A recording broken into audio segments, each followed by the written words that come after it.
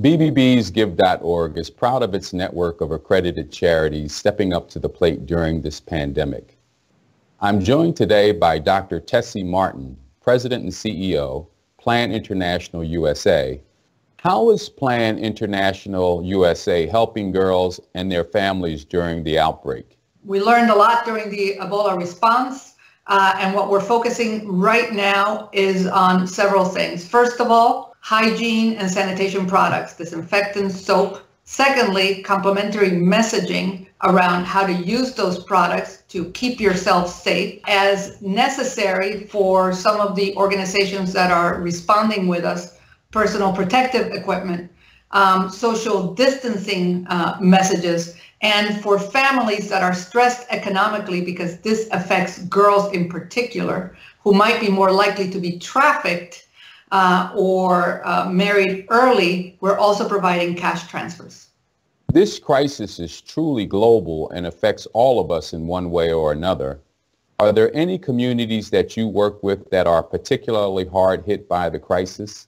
Are the I would think one of the most vulnerable sets of uh, people are displaced persons. Before the pandemic, the UN estimated there were over 17 million forcibly displaced persons around the world, 26 million of them refugees, people that are not even in their country. They're now living, many of them, in crowded conditions, uh, making social distancing very difficult. So we are very much targeting refugee and displaced persons communities around the world.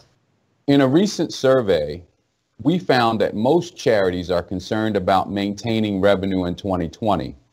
Do you foresee any particular challenges in raising funds in 2020?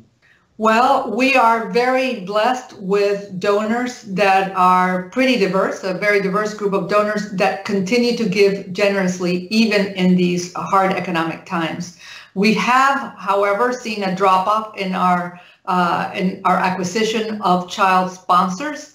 Uh, this is a recurring gift, and we mostly acquire it through face-to-face, which is a very difficult channel to keep up during a pandemic and social distancing. We are experimenting with other channels, and we're experimenting with other acquisition approaches. We did a very successful fundraiser, virtual fundraiser last night with about um, 100 donors, so that went well. In a recent donor survey, we found that 30% of them intend to give more. In fact, 48% of millennials and 61% of Gen Zers want to give more in 2020. For people who can and want to help, what is the best way to support your efforts? Thanks for the great question. Obviously, for anybody that can and wants to give, please go to www.planusa.org slash COVID-19. But even if you can't give, go to our website, get engaged, see what we're doing, share whatever you think is interesting in social media. And if you have high schoolers at home, here's one other thing that you can look at. We are running the Youth Leadership Academy. We usually do it in person in Washington, D.C. We're doing it virtually this year. It is sponsored by The Body Shop and is focused on giving young people, high schoolers, the skills to advocate for those issues for which they're very passionate.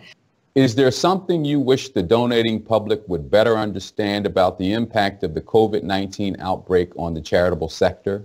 Art, this is an unprecedented global emergency. Every part of the world is being affected at the same time.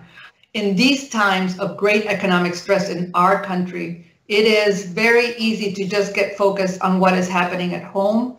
The importance of looking outside has never been greater until all of us are safe. No one is. So while things here are imminent and important, it is also important and urgent to continue to focus on what we can do to keep everyone safe around the world.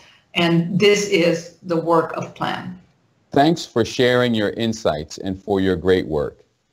COVID-19 reminds us of our collective interdependence and vulnerability. BBBsGive.org encourages you to stay close to the charities that you care about. This is a critical time for charities in our sector.